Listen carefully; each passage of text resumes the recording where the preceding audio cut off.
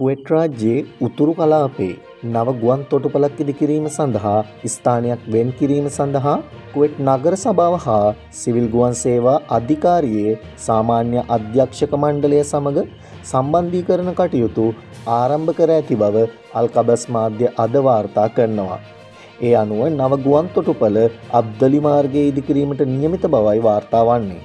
කෙසේ වෙතත් මේ දක්වා නව ගුවන් තොටුපළ ඉදිකිරීම සඳහා නිශ්චිතවම ස්ථානයක් වෙන් කරගෙන නොමැති බවයි වැඩිදුරටත් සඳහන් වන්නේ. මෙවැනි උණුසුම් පුවත් නිරන්තරයෙන් දැනගන්න සබස්ක්‍රයිබ් කරන්න අපේ චැනල් එක.